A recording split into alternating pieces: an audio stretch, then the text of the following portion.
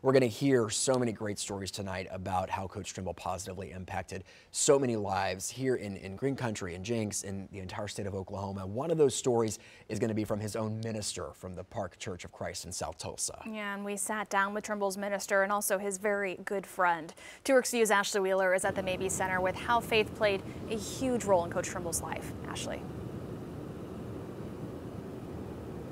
Aquarian Travis Senior Minister Mitch Wilburn says that Trimble gave him one directive, and that is to make this evening a celebration. Now, every Friday for two decades, Wilburn says they met and held a Bible study class where the two became close friends. In the years they knew each other, he says Trimble was always humble, generous, and filled with an unparalleled kindness. Wilburn says even though they knew his passing was inevitable after he was diagnosed with ALS, he says it's still difficult to grasp. And he reminded me of the word of the Lord that says we do mourn, but we don't mourn like those without hope.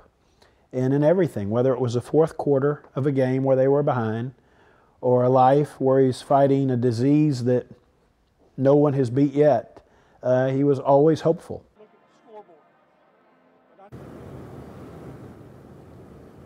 Wilburn told us Trimble's faith meant everything to him and saw how Jesus worked through him in his efforts to start mission work in the church in New Orleans after Hurricane Katrina and his work through the Trimble Strong Foundation.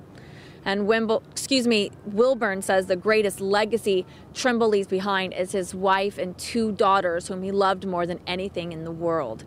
And we'll hear more from Trimble's minister this evening at 5 and 6. Reporting live in Tulsa, Ashley Wheeler, Two Works for You.